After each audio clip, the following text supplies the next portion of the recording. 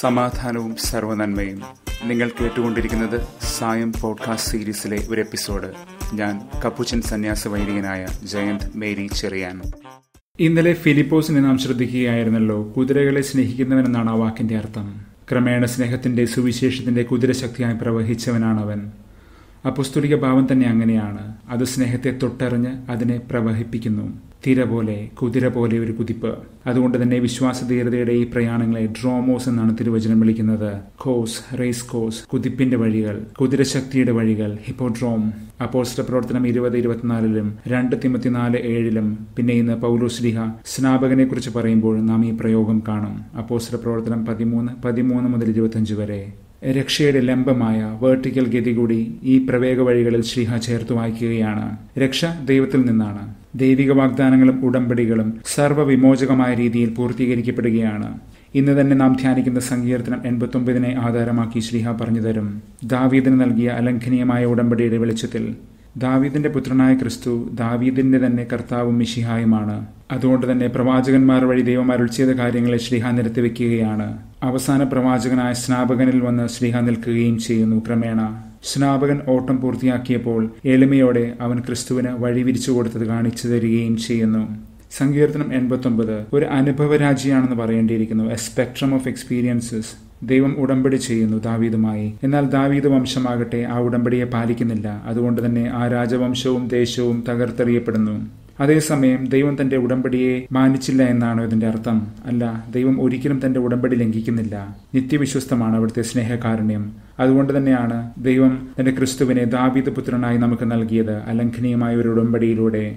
ദൈവം നീതിയോടെ വിധിക്കുന്നു. അതേസമയം വീഴ്ച പറ്റിയവർക്ക് തിരിച്ചു വരാനുള്ള ഒരു ഇടവും കാത്തുവെക്കുന്നുണ്ട് അവിടുത്തെ കരുണയുടെ കവാടങ്ങൾ ദൈവം നിത്യമായി അടച്ചു കളയുന്നില്ല ഇതാണ് അവിടുത്തെ വിശ്വസ്തതയുടെ സാരാംശം.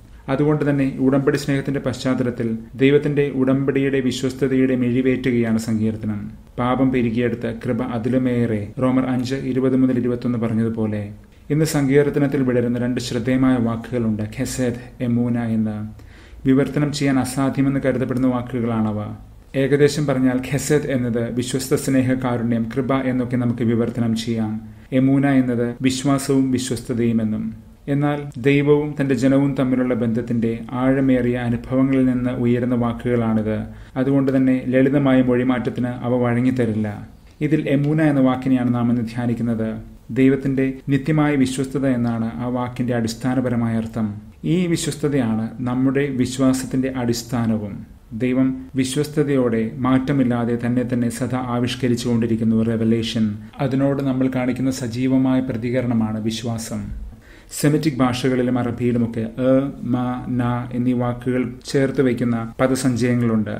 അമാൻ ഉമാൻ ആമിന ആമേൻ എമൂൻ എന്നൊക്കെ ഉദാഹരണത്തിന്. ഇതെല്ലാം പരസ്പര ബന്ധമുള്ള വാക്കുകളാണ്. അ മ ന എന്ന ഈ വേര് സൂചിപ്പിക്കുന്നത് ദൃഢത ശക്തി എന്നൊക്കെയാണ്. രണ്ട് വിശേഷപ്പെട്ട തലങ്ങളിൽ നാം അതുകൊണ്ട് എമൂന എന്ന ഈ അനുഭവത്തെ മനസ്സിലാക്കിയെടുക്കുകയാണ്. ഉമാൻ എന്ന അതിന്റെ സംബന്ധിയായ വാക്കിൽ നിന്ന്. ദൈവിക പ്രവൃത്തികളെ സൂചിപ്പിക്കുന്ന ഒരു വാക്കാണിത്. ഉമാൻ എന്നത് വിദഗ്ധ ശില്പി എന്നാണ് ഒന്നാമത്തെ അർത്ഥം. എക്സ്പേർട്ട് ക്രാഫ്റ്റ്സ്മാൻ താൻ ചെയ്യുന്നതൊക്കെയും കൃത്യതയും കണിശതയും സൗന്ദര്യവും ചേർത്ത് ചെയ്യാൻ കഴിവും ശക്തിയും ഉത്സാഹവും ഉള്ളവനാണ് വിദഗ്ധനായ ശില്പി. ക്രിസ്തുനാഥൻ ഒരു തച്ചനാണെന്ന് പറയുമ്പോൾ ഈ ഒരു ധാരണ തന്നെയാണ് യഥാർത്ഥത്തിൽ വിടരുന്നതും. തച്ചൻ ഒരു വിദഗ്ധ ശില്പിയാണ്. തെക്തോൺ. ദൈവം നമ്മെ വാർത്തെടുക്കുന്നത് എപ്പോഴും അങ്ങനെയാണ്. നമ്മെ രൂപപ്പെടുത്തുന്നത് കൃത്യമായ നീതികളോടെ നിയമങ്ങളോടെ അളവുകളോടെ ചാരുതയോടെ. He makes no mistakes he knows what he is doing പിന്നെ വളരെ വിചിത്ര സുന്ദരമായ ഒരു അർത്ഥമുണ്ട് ഈ വാക്കിന്. സംഖ്യ പതിനൊന്ന് പന്ത്രണ്ടിൽ മോശ തന്റെ ജനത്തെ പ്രതി വ്യസനിച്ചുകൊണ്ട് പറയുകയാണ് ദൈവമേ നീ എന്തിന് എന്നെ വലയ്ക്കുന്നു? ഈ ജനം എന്നെ ആകെ പ്രയാസപ്പെടുത്തുകയാണ്. ഞാനാണോ അവരെ പ്രസവിച്ചത്? ഞാനാണോ അവരുടെ ഉമ്മാൻ? ഉമ്മാൻ എന്ന ഈ പ്രയോഗത്തിന് നഴ്സിംഗ് ഫാദർ എന്നാണ് അർത്ഥം നഴ്സിംഗ് മദർ എന്നാൽ പാലൂട്ടുന്ന അമ്മ എന്നാണല്ലോ അർത്ഥം. എന്നാൽ നഴ്സിംഗ് ഫാദർ എന്നത് അങ്ങനെ മനസ്സിലാക്കാൻ എളുപ്പമല്ല. അതൊരു സംയോജിതം സിന്തറ്റിക് സ്റ്റൈലിൽ മാത്രമേ നമുക്ക് വായിച്ചെടുക്കാനാകൂ. അമ്മയും അപ്പനും ചേരുന്ന ഒരു രൂപകമാണത്. ആർദ്രതയും ഉറപ്പും ഇടകലരുന്ന അനുഭവം. ഇന്നലെ നാം കണ്ടതുപോലെ ആർദ്രമായ ദൈവഭവനം മയാന. ഇന്ന് സങ്കീർത്തനം എൺപത്തൊമ്പതിന്റെ അവസാനം പോലും എന്റെ പിതാവായ ദൈവമേ അങ്ങാണ് എന്റെ അപേക്ഷില എന്നാണ്. അമ്മയുടെ ആർദ്രതയും അപ്പന്റെ ദൃഢതയും കലരുകയാണ് ഈ ദൈവഭാവത്തിൽ എമൂന അതാണ് അവിടുത്തെ വിശ്വസ്തത. എമൂന എന്ന ഈ വിശ്വാസാനുഭവത്തെ ഒരു പാഠ്യ പദ്ധതിയായിട്ടാണ് യഹൂദന്മാർ മനസ്സിലാക്കിയിരുന്നത്. അത് ഒരേ സമയം ഒരു വിദഗ്ധ ശില്പിയെ പോലെ നമ്മെ രൂപപ്പെടുത്തുന്നു പണിതുയർത്തുന്നു അപ്പനമ്മയെ പോലെ പരിപോഷിപ്പിക്കുകയും ചെയ്യുന്നു. അത്ര എളുപ്പമുള്ള കാര്യമല്ല അത്. ഒരു വിദ്യാർത്ഥി ഇടറും കുതറും കളരിവിട്ട് ഓടിപ്പോകും ക്ഷമയോടെ അവന്റെ കൂടെ നടക്കണം ഗുരുനാഥൻ. ഇന്ന് സുവിശേഷം യോഹന്നാൻ പതിമൂന്ന് പതിനാറ് മുതൽ ഇരുപത് വരെയിൽ യൂദാസ് ഇങ്ങനെ കാലുയർത്തി ചവിട്ടിത്തുള്ളി പുറത്തിറങ്ങിപ്പോകുന്നുണ്ടെന്ന് നാഥൻ വിവരിക്കുന്നത് അതുകൊണ്ടാണ്. താൻ സ്നേഹിച്ച് പരിപാലിച്ച ഒരുവൻ തന്നെ തന്നെ വെറുത്തുപേക്ഷിച്ചു പോകുന്നു. സങ്കീർത്തനം നാൽപ്പത്തൊന്ന് ആധാരമാക്കി നാഥൻ പറഞ്ഞു വയ്ക്കുകയാണ്. ദൈവം നൽകുന്ന ശിക്ഷണമാണ് വിശ്വാസ വഴി അതുകൊണ്ട് തന്നെയാണ് ഇന്ന് ശ്രീഹാഥന്റെ പ്രഭാഷണത്തിൽ പ്രവാചകന്മാരുടെ ഓർമ്മകൾ ഉണർത്തുന്നത്. പ്രവാചകരെന്നത് അടിസ്ഥാനപരമായി നലം തികഞ്ഞ ദൈവിക അധ്യാപകരാണ്. ഇന്നും സഭയുടെ പ്രവാചക ദൗത്യം എന്നത് പ്രബോധന അധികാരമായിട്ടാണ് നാം മനസ്സിലാക്കുന്നത്. മൂനുസ് ദൊച്ചേന്തി ടീച്ചിംഗ് ഓഫീസ് മോശയെ പ്രവാചകൻ എന്നതിനേക്കാൾ കൂടുതൽ ഗുരുനാഥനായിട്ടാണ് യഹൂദ സംസ്കാരം മനസ്സിലാക്കുന്നത്. റബ്ബേനു ഞങ്ങളുടെ റബ്ബി.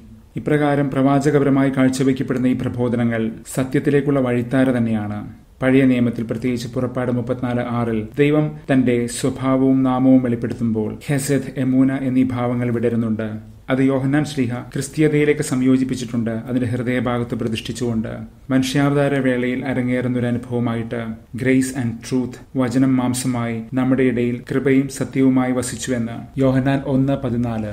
ഖെസെദ് സൂചിപ്പിക്കുന്ന ധാരണയെ തന്നെയാണ് കൃപ എന്നുകൊണ്ട് ശ്രീഹ ഇവിടെ അർത്ഥമാക്കുന്നത്. എമൂന സൂചിപ്പിക്കുന്നതിനെയാണ് ട്രൂത്ത് എന്നതുകൊണ്ടും. അതുകൊണ്ട് തന്നെയാണ് ഇന്നത്തെ സുവിശേഷ ഭാഗത്തിൽ നാഥൻ രണ്ട് പ്രാവശ്യം ആമേൻ ആമേൻ എന്ന വാക്കുകൾ ആവർത്തിക്കുന്നത് സത്യം സത്യമായി ഞാൻ പറയുന്നുവെന്ന്. ആമേൻ എന്ന വാക്ക് മൂന എന്ന വാക്ക് തന്നെയാണ്.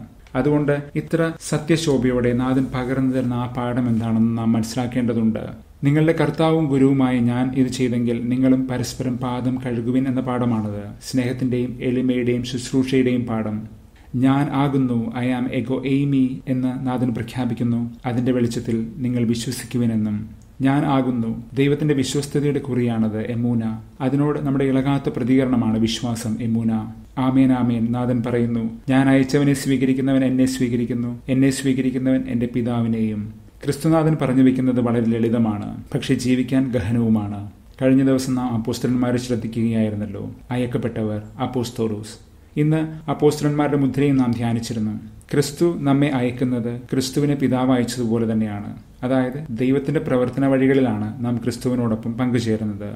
ആമേൻ ആമേൻ ഞാൻ പറയുന്നു. ദാസൻ യജമാനേക്കാൾ വലിയവനല്ല ദൂതൻ അപ്പോസ്തലൻ അയച്ചവനേക്കാളും വലിയവനല്ല. പക്ഷേ ഇന്നലെ നാം ശ്രദ്ധിക്കുകയായിരുന്നു യോഹന്നാൻ പതിനാലിൽ നാഥൻ പറയുന്നത് ഞാൻ മൂലം നിങ്ങൾ ഞാൻ ചെയ്തവയേക്കാൾ വലിയ കാര്യങ്ങൾ ചെയ്യുമെന്ന് ദൈവകൃപയുടെ നിത്യവിസ്മയം ഇതാണ്. ദൈവത്തിന്റെ കർമ്മവീതിയിൽ നാം ദൈവത്തെ തന്നെ അധികരിക്കുന്നവരായി മാറുന്നു. അത് നമ്മുടെ മേന്മ കൊണ്ടല്ല കൃപ നമ്മിൽ സാധ്യമാക്കുന്ന ഒരു വിസ്മയമാണത്. എത്ര സുന്ദരമായിരിക്കുന്നു ഈ വൈചിത്ര്യമല്ലേ? ഇങ്ങനെ പരസ്പര സ്നേഹത്തിന്റെയും ശുശ്രൂഷയുടെയും ഈ ക്ഷണം വലിയൊരു കൃപയാണെന്ന് ഫ്രാൻസിസ് പാപ്പ പഠിപ്പിക്കുന്നുണ്ട് ഇവാഞ്ചലി ഗൗതിയും എന്ന തിരുവഴുത്തിൽ. മാത്രമല്ല തന്റെ പൗരോഹിത്യത്തിന്റെ അമ്പതാം വാർഷിക വേളയിൽ നടത്തിയ പ്രസംഗത്തിലും. കാരണം സഹോദരനെ സ്നേഹിക്കാതെ നമുക്ക് ദൈവത്തെ സ്നേഹിക്കാനാകില്ലല്ലോ. അതുകൊണ്ട് സഹോദരനെ സ്നേഹിക്കാൻ ദൈവം നൽകുന്ന ക്ഷണവും അവസരവും ദൈവത്തെ സ്നേഹിക്കാൻ തന്നെയുള്ള കൃപാധാരയാണ്. ഇന്ന് നാഥൻ നൽകുന്ന ഈ സ്നേഹദൗത്യം ഒരിക്കലും ഇളക്കി മാറ്റാനാകാത്ത വിധം നമ്മെ നാഥനുമായി ബന്ധിപ്പിച്ചു നിർത്തുന്ന ഒരു ദൗത്യമായി മാറുന്നു. A mission that will bind us forever അത് തന്നെയാണല്ലോ എമൂന അതിൽ അധ്വാന വഴികൾ അടങ്ങിയിട്ടുണ്ട്. വിശ്വാസത്തിന്റെ അധ്വാന വഴികൾ. അതുപോലെ തന്നെ അതിനെ ഇളക്കി മാറ്റാനാകാത്ത ഭാവങ്ങളുമാണ്. വിശ്വസ്ത സ്നേഹത്തിന്റെ അധ്വാന വഴി അതുതന്നെയാണ് വിശ്വാസത്തിന്റെ നിർവചനം.